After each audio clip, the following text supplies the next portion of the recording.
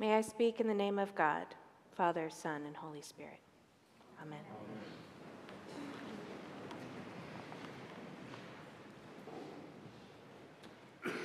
There are so many interesting things that I want to tell you about both of these scripture passages that we just read.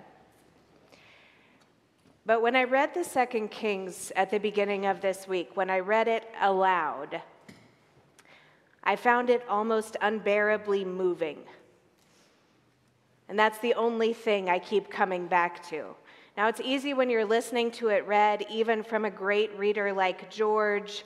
It is interesting to let the repetition just sort of like slide over you. But go home this afternoon and read it aloud.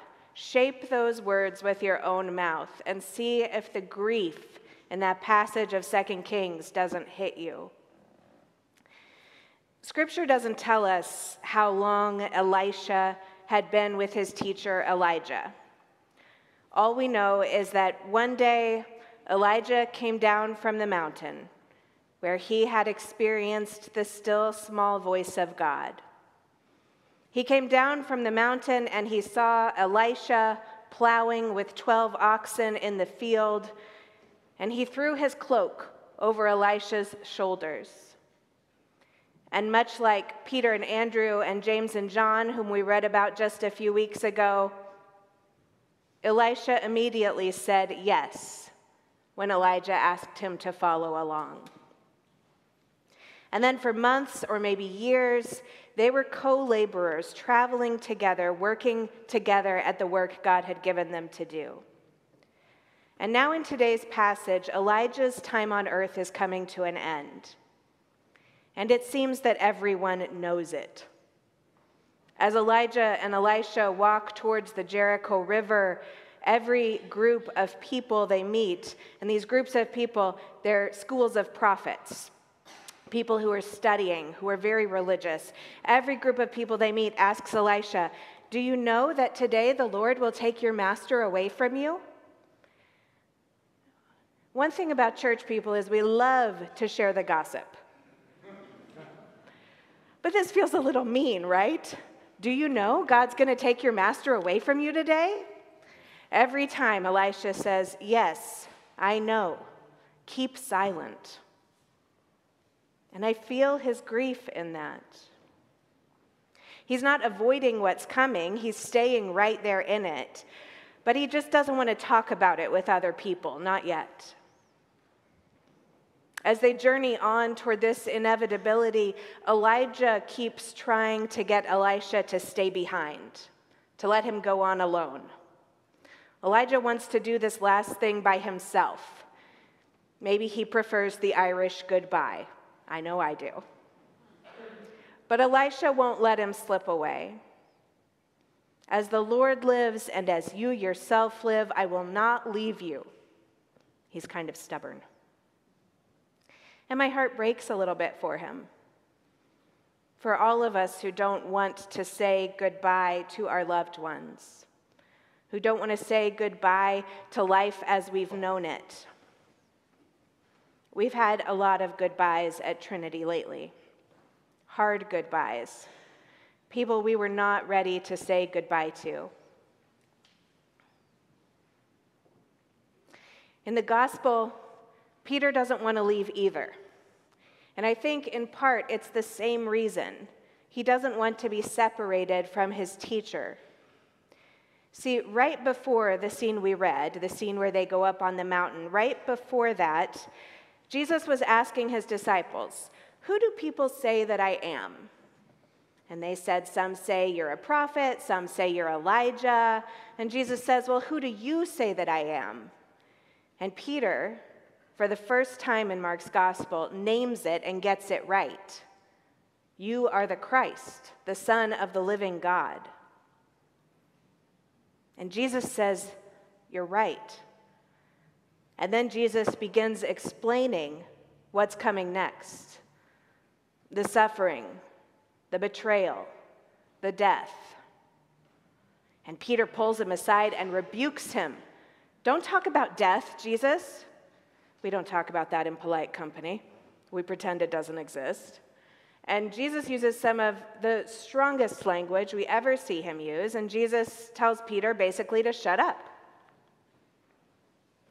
So we've just seen that Peter does not want to face the reality of Jesus' death. He's, he's putting his fingers in his ears and saying, la, la, la, la, la. I don't want to hear about it. And then on the mountain, he sees even more clearly the glory of God in Jesus. It's dazzling, and his ancestors are there, and he just wants to stay in that moment forever. It's good for us to be here, he says. Let's build shelters and stay. It's not just the goodness and the glory that makes him say this, but his knowledge, his new knowledge of what's coming next. He doesn't want to leave this mountain because he knows the next thing is walking towards death. I wonder what moments you've had like this. What bedside you've refused to leave. What going away party was just so good it lasted all night. What mountaintop moment when all felt right with the world and you just wanted to stay there?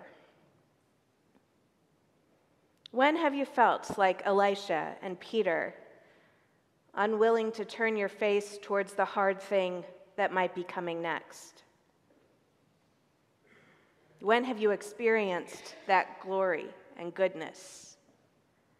You know, we cling to those moments because they're right because we know that that's what we were created for for intimacy and relationships and belonging and glory. There's nothing wrong with clinging to and longing for those kinds of moments. But the glory we experience on earth is temporary. Elijah leaves Elisha to carry on the work without him. Peter and Jesus come down from the mountain and the cross must come. God gives us these gifts, these moments of vision to strengthen us for what's ahead, to show us what is true, the light of the glory of God in Christ. But the cross will come. And when it does, when the grief of loss and death strikes us, we can hold on to what we've seen. Maybe this is why in the Episcopal Church we read this account of the Transfiguration twice every year. It feels like we're always here because we always need to be here. We always need to be reminded. We hold close these moments of revelation we hold close the relationships that gave us the faith to leave behind the things we needed to leave behind. We hold close the truths that we heard from God when we were on the mountaintop. And with them, we can walk with Jesus toward the cross, knowing that the only reason we can face it is that he has already faced it and overcome it.